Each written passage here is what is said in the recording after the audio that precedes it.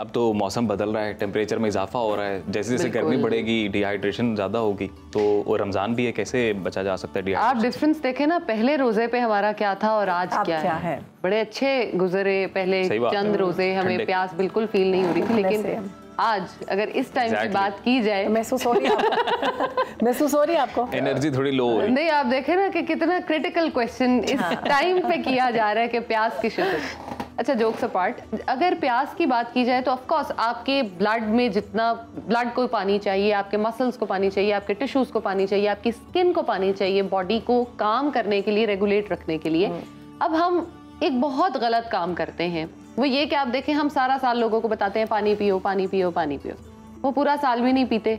रमज़ान में 16 घंटे 15 घंटे का रोज़ा जो है वो रख कर उसके बाद जो सात या आठ घंटे का टाइम आता है उसमें भी पानी नहीं पीते। डिफरेंट हम्म। मशरूबात की तरफ़ हाँ जाते हैं। जूसेस पी लेते हैं। Exactly exactly. अब हमें ये समझना बहुत ज़रूरी है कि जो पानी का काम है वो सिर्फ़ पानी नहीं करना अच्छा। है आप जितने मर्ज़ी जूसेस मशरूबात में भी तो पानी होता है ना नहीं देखें मशरूबात में जो चीनी हम डाल देते हैं जो हम्म। नमक हम डाल देते हैं चीनी आपको और प्यास लगवाती है नमक आपकी बॉडी में वाटर को होल्ड करता है अच्छा। जिसका मतलब ये है कि आपने अगर एक ग्लास जूस का या शरबत का किसी भी शरबत का लाल नीला पीला हरा कुछ हम्म। भी पिया है तो वो आपकी बॉडी में पानी की और कमी करता है। अच्छा। आपकी body these are sort of diuretics हम हम्म। जिसमें समझते हैं कि दूध सोडा जैसे हम बना के बहुत कॉमन प्रैक्टिस है हम लोग पी रहे हम्म। होते हैं।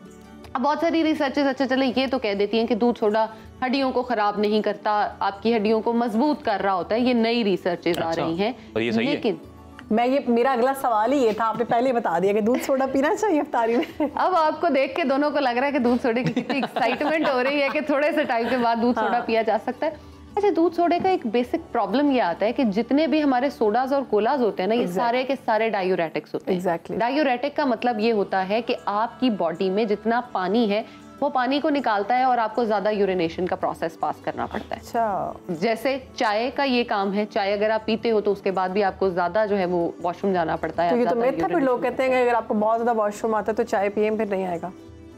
हाँ बिल्कुल चाय पीने से तो बल्कि ज़्यादा वॉशरूम आएगा कि okay. जितना पानी बॉडी में होगा वो सारा का सारा उसने लेके बॉडी से बाहर निकलेगा। अगर आपकी वाटर इनटेक अच्छी है और आपको मतलब वो पास आउट भी हो रहा है उतनी ही स्पीड के साथ तो वो अच्छा नहीं है आपकी बॉडी क्लीन हो रही है? अच्छा देखें इसमें एक सिंपल सा रूल मैं हमेशा शेयर करती हूँ वो ये है कि अगर आप चाय या कॉफ़ी पी रहे हैं हाँ। एक चाय का कप एक कॉफ़ी का कप एक ग्रीन टी का कप एक कावे का कप बदले में दो ग्लास पानी।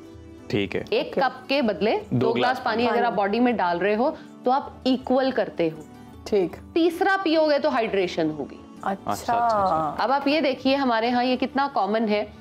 इफ्तारी के फ़ौरन बाद चाय तरावी के बाद फ़ौरन चाय हम्म। सुबह सहरी में चाय अक्सर लोग इससे भी ज़्यादा पीते हैं। हाँ बहुत सारे क्लाइंट्स को मैं कंसल्ट करती हूँ जो 10-10 कप रमज़ान में भी चाय पी रहे होते हैं। कैसे? अब आप ये देखें 10 कप चाय अगर आप पी रहे हो 20 ग्लास पानी ने उसको नॉर्मल तो वो तो आपका स्टमक खत्म हो, जाता है हम्म। लेकिन लोग वेट लॉस भी तो करना है ना? और और कैसे से... करना है? चाय से करना है। चाय पी ली कुछ खाएँगे नहीं। रात को रोटी नहीं खा रहे चाय का एक कप पी लेकिन ये बात वाकई सही है। अगर चाय पी ले तो आपकी भूख मर जाती है। तो यही तो गलत बात हम कर रहे हैं। मेदे हम्म। लोगों के सड़ जाने लगे हैं चाय बॉडी में डाल डाल के। क्योंकि आप देखें सत्रह घंटे सोलह घंटे आपने कोई पानी खाना कुछ नहीं बॉडी में डाला। एकदम से आपने खाना डाला। पहले तो पानी हम जो डालते हैं बहुत ठंडा पानी हम पीते हैं शरबत पीते हैं जूसेस पीते हैं। हम्म। चीनी का कंटेंट बहुत बढ़ा देते हैं बॉडी हम्म, फिर उसके ऊपर से चाय डालते हैं फिर ऊपर से फ्राइड आइटम्स डालते हैं।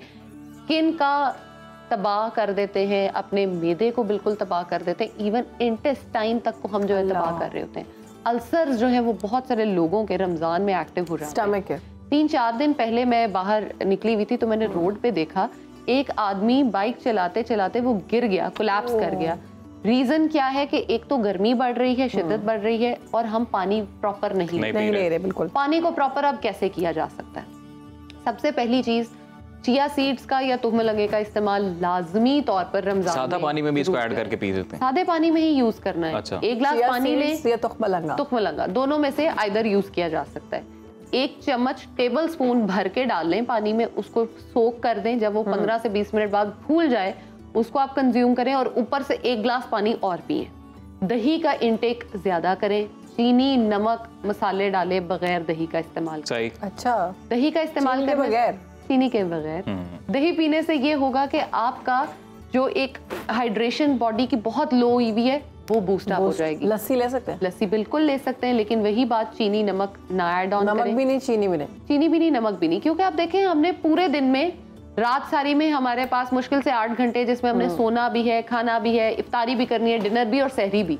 तीन मील्स हैं हमारे पास रात को। अब पहला मील अगर हम इफ्तार में फॉर एग्ज़ाम्पल फ्रूट चाट ले लेते हैं बहुत हद तक वाटर कंटेंट अच्छा कर दिया अच्छा सर कुछ लोग जो है ना वो कोल्ड ड्रिंक लेते हैं। वो कहते हैं अगर हम कोल्ड ड्रिंक नहीं पियेंगे तो हमें बहुत ज़्यादा गैस का मसला हो जाता है। क्योंकि हम मतलब पूरा दिन भूखे रहे हैं तो ये हमारा गैस का इशू है कोल्ड ड्रिंक से ही हम हल कर सकते हैं। अच्छा ये बहुत कॉमन प्रैक्टिस है हमारे यहाँ कि आपने सफ़ेद बोतल अंदर थोड़ा सा पानी डाल के लिया। आपका चाहे पेट खराब है आपको चाहे गैस हो रही है गैस हो नहीं रही होती। खाना हजम नहीं हो रहा जी सफ़ेद बोतल पीनी है एक चीज़ हमेशा याद रखिएगा आपका स्टमक जो है उसमें HCl नाम का वो लाइनिंग होती है एसिड जो होते हैं वो प्रोड्यूस हो रहे होते हैं एल आपके स्टमक ने कॉन्ट्रैक्शन और रिलैक्सेशन करनी है। आपने जितना खाला डाला HCl उसके मुताबिक प्रोड्यूस होता है उसको डाइजेस्ट करता है ब्रेक डाउन करता है और बॉडी से बाहर निकाल देता है।